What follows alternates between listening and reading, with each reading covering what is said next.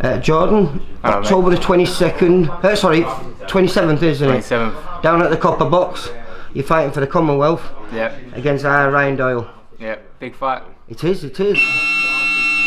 There I go. Um, I've, I've spoke to Ryan about it. He's uh, well up for it. I Yeah. presume you are yourself. Yeah, of course. And I, I was just checking out because I tend to just check out the people as and when you know we come up to them and uh, a, a cracking story. I mean, I, I think you you were injured. Well, no, you weren't injured, but you weren't fighting for about eighteen months. Yeah, Why was that? I didn't box for 18 months. Um, a few fell through.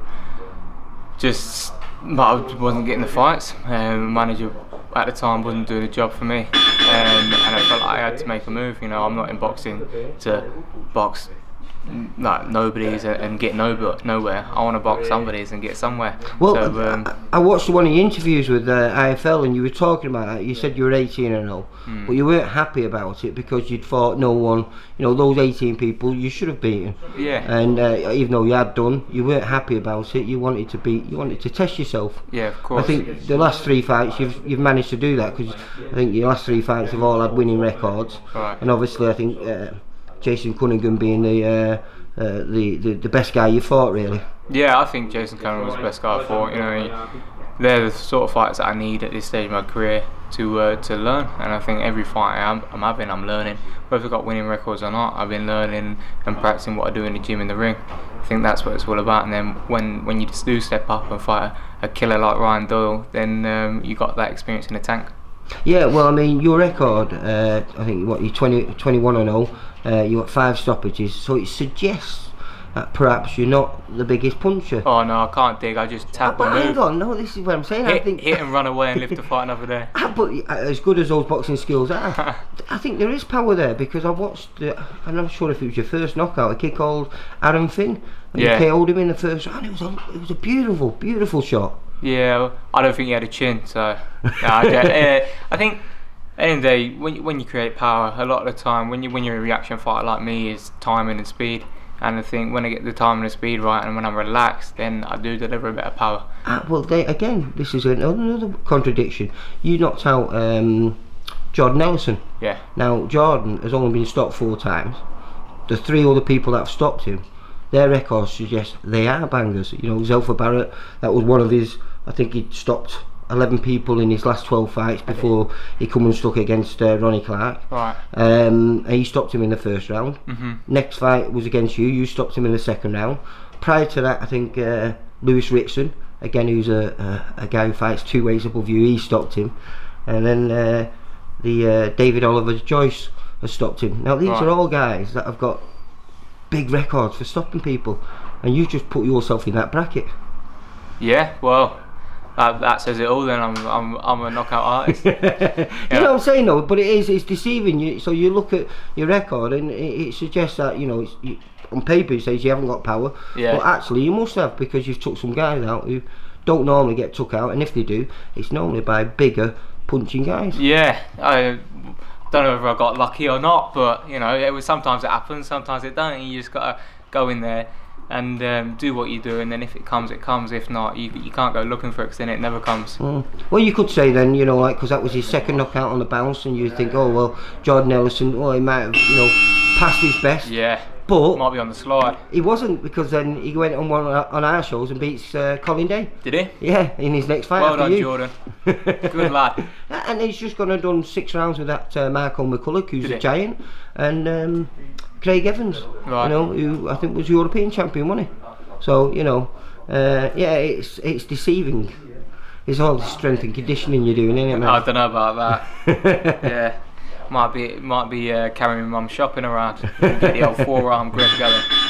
uh, you, what, you're half Indian then? I am half Indian, yeah. And I was reading uh, someone, I think it was Danny Flexen, who wrote a story about you and uh, where you grew up. You were like, uh, uh, you stood out like a sore thumb.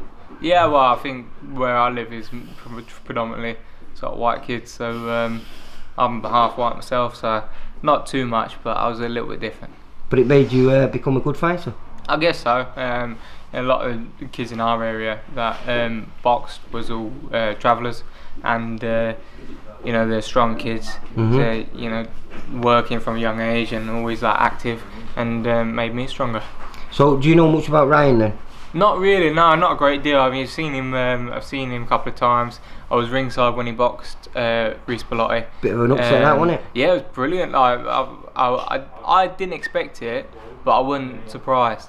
Um, so it's, it's uh, it was it was was was it was what it was, and it was a, it was a brilliant performance. Um, they both put it all on the line. I was watching it as a fan, and I thought, wow, I was I was pleased for him because you know it's it's a good it's a good story, it? I mean, I've obviously not lost, but I've not had the career that I've had I've wanted so far.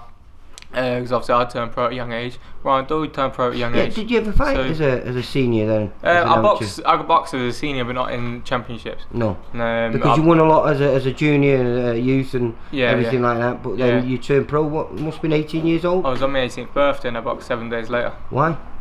Um, I was conned into it.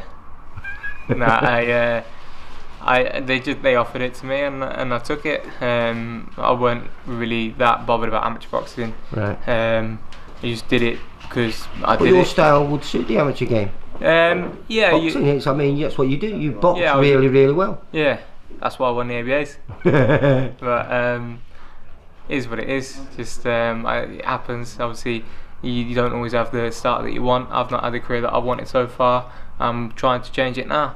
Um, I'm sure Ryan Doyle would have liked a different uh, start as well. Yeah, yeah. And he's he's come up the hard way. He's had hard fights. All right, he might have lost one or two, but now he's back in the mix and he's won a title. And for me, that's more impressive than seeing a kid come out of the amateurs with like gold medals here, there, and everywhere, and then going on and expecting to win. hmm And just got a death stare from Anthony Fowler. But um, there's nothing wrong with GB at all. It's a great setup. But um, I mean, for me, like what Ryan Doyle's done, I love I love to see it. Yeah. So I was happy for him. Well, he's been a pro a long time. I think Mm. this is his ninth year as a professional now. He turned over. I think he was just 18, between 18 and 19. Yeah. Uh, like you say, he's, he's big at the weight. You're big at the weight as well. Do you think? I think so. Yeah, you're not Yeah. particularly small. Eh? He's a featherweight. Uh, I've got big ankles.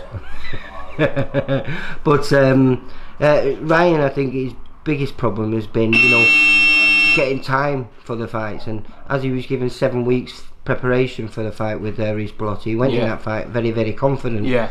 Um, and now he's managed to uh, make him a full-time pro, Brilliant. which, as I think he's been, like I say, eight years, nine years, and this is the first year that he's been a professional fighter. Yeah. So I know it's going to be a great fight, and I think it's a great little mini tournament because Mhm. there's you and yourself are boxing off. Uh, you're boxing for the Commonwealth, you know, trying to win his title, and then you've got uh, Isaac Lowe and Ryan Doyle fighting for the British, and then the winners of those fights meet one another. Yeah. So it puts the winner of these next two fights in a fantastic position. Yeah, it does. So it's all there. The path's there. You just got to do it. Um, that's what it's all about. Uh, nobody, nobody's gonna get an easy ride because they're all hard fights. Definitely. Um, and you know, you, we will understand that, and we're putting it all in line. That's what it's all about. So if we win, then it's good. Then uh, we move on. Well, you're the baby of the bunch. I am, yeah, You're 24 years old. Yeah, Everyone else has got a couple of years on you at least. yeah, Um, so I mean, you would be in a fantastic position. As I said, the the four people that are ranked above you lot uh, are all world class. So Mm. I mean, it puts you one or two steps away from being in the mix with them lot. yeah. And what a fantastic position that to be I in know, again. yeah, there's some great names in the featherweight division. So, you know, the the UK is a hotbed for featherweights. It is. Um, there's some big names in there: Carl Frampton, Scott Quigg, Kid Galahad, Josh Warrington. Um, they're all top top fighters. well, obviously that fight's happening now before Christmas. Is it? Um, we're not sure exact date yet, but it's going to be happening before Christmas. Uh, as a featherweight yourself, who do you think between Josh Warrington and Carl Frampton? I think if you look at the fighters stylistically, um, for me, as a fan, I'd, I'd prefer to watch Frampton.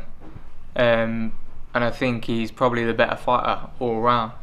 But I think timing's everything in boxing. I think Josh Warrington's got a bit of momentum. He's world champion now. He's massive. He's strong. Um, and he's got an engine like no one else. So um, you know he'll keep coming. I think I think he could beat. I could think he could pull off an upset against Well, Frampton. do you know something? You know, most people give uh, Frampton as a massive favourite in that fight. Do they? But I think I think it's a genuine 50-50 fight now. It is. It's all on the line. You know, they're both at a stage of career where it is it's down to them, is it? So um, you know, Frampton's good. I think he's brilliant. I think he's looked brilliant in the last couple of fights, and um, he's, he's obviously still got it. And uh, it's, it's just a case of who's better on the night. I think. Well, you know, I was we talk about favourites and everything. Um, I was talking to quite a few people about your fight with uh, Ryan Doyle. Yeah. A lot of people are tipping you to win this fight. Yeah. I thought it'd, I'd be a heavy underdog Well, after his after I would his have thought that after that, but I think everyone thinks that was a bit of a blip. Do you on, reckon? Uh, by, well, no, I don't. But I mean, I think uh, it uh, it proves how, how how highly people think of your boxing skills. Wow, it's a it's a compliment. I'm I'm flattered. Um, but you know, I think everybody knows it's a hard fight. It's going to be hard in in different aspects for both of us. I think um, if Ryan Doyle rematched Reece Bellotti, I think the same result would happen. Um, I think he's a very good fighter. Uh, I've got a tremendous amount of respect for him, and I respect what he what, where he's come from, what, what he's achieved. But um, you know, it's it's all on the line, and I'm going to do everything I, in my powers to beat him. Right. Well, we'll leave it on that note. And uh, as uh, Ryan Doyle's uh, our fight, all I can say is, may the best man win. Thank you very much. Take care, Jordan. You Thanks too. a lot, mate.